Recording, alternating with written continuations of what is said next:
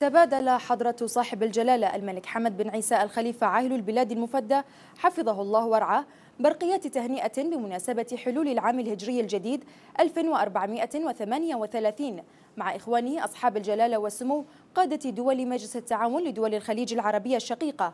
أعرب جلالته أيده الله فيها عن أطيب تهانيه وخالص تمنياته لهم بموفور الصحة والسعادة داعيا المولى عز وجل أن يعيد هذه المناسبة الكريمة على دول وشعوب مجلس التعاون الشقيقة بوافر الخير واليمن والبركات. فقد تبادل جلالة الملك المفدى برقيات تهنئة مع كل من إخوانه. خادم الحرمين الشريفين الملك سلمان بن عبد العزيز آل سعود عاهل المملكة العربية السعودية الشقيقة. صاحب السمو الشيخ صباح الأحمد الجابر الصباح أمير دولة الكويت الشقيقة. صاحب السمو الشيخ خليفة بن زايد آل نهيان رئيس دولة الإمارات العربية المتحدة الشقيقة. صاحب الجلالة السلطان قابوس بن سعيد سلطان عمان الشقيقة.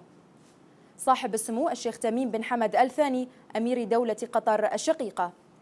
كما تبادل حضرة صاحب الجلالة الملك المفدى حفظه الله ورعاه برقيات تهنئة مع إخوانه أصحاب الجلالة والفخامة ملوك ورؤساء الدول العربية والإسلامية.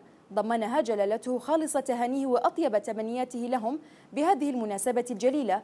سائلا الله سبحانه وتعالى أن يعيدها عليهم بدوام الصحة والسعادة وعلى بلدانهم وشعوبهم الشقيقة بمزيد من التقدم والازدهار وعلى الأمة العربية والإسلامية بالعزة والمنعة والسؤود